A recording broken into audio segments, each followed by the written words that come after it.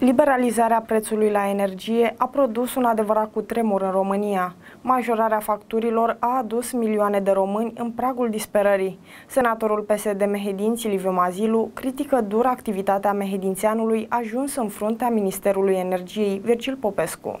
În ultimele luni, prețul facturilor a explodat, iar milioane de români au fost aruncați în cel mai mare val al sărăciei din ultimii zeci de ani. Socialdemocratul Liviu Mazilu consideră că actualul guvern favorizează băieții deștepți din energie, chiar dacă prețul este acela de a arunca România în aer. Pentru toate, tot ceea ce se întâmplă, însă, noi îngrijorați fiind de situația creată, am uh, cerut o anchetă. Am cerut uh, realizarea unei comisii în Parlament care să vadă ce s-a întâmplat și de ce s-a ajuns aici.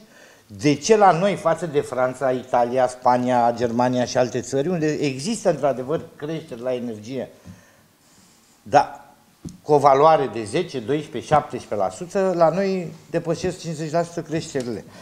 Și am propus și în sfârșit am obținut votul Parlamentului pentru înființarea unei comisii la care să vină să răspundă toți cei responsabili. Și Ministerul Energiei, domnul Virgil Popescu, și ANRE-ul, și mă, protecția consumatorilor și oficiul concurenței, foarte important, pentru că aici apare a fi vorba de un cartel între câteva societăți care în mod artificial măresc și expres și așa mai departe. Senatorul PSD Mehedinți Liviu Mazilu consideră că unul dintre principalii vinovați este chiar mehedințeanul Virgil Popescu, ministrul energiei.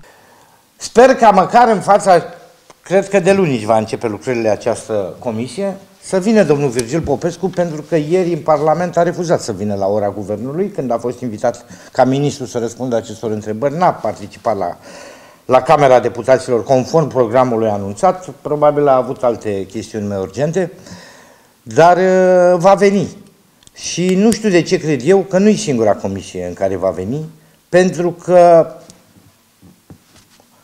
odată cu trecerea timpului, adevărul va ieși la iveală și se va vedea dacă este, așa cum spuneam, incompetență sau un plan bine ticluit, bine pus la punct, bine gândit, din urmă cu doi ani, care a condus la aceste profituri uriașe ale, ale unor companii pe seama veniturilor populației vulnerabile. Eu sunt convins că lucrul ăsta mai devreme sau mai târziu se va întâmpla și toți suntem responsabili pentru faptele noastre. Uh, nu știu cum doarme domnul Virgil Popescu când este groparul economiei românești și când uh, se gândește că sunt milioane de români care ar, plăti, ar trebui să plătească veniturile pe câteva luni ca să poată trece de iarna asta. Din acțiunile guvernamentale reiese faptul că bogații energiei sunt sprijiniți, iar românii sunt obligați să trăiască în sărăcie. În actualul context social în care țările europene, precum Spania, susțin prin măsuri concrete populația, în România sprijinirea cetățenilor este ultima grijă a celor care conduc, din păcate, în aceste momente țara noastră.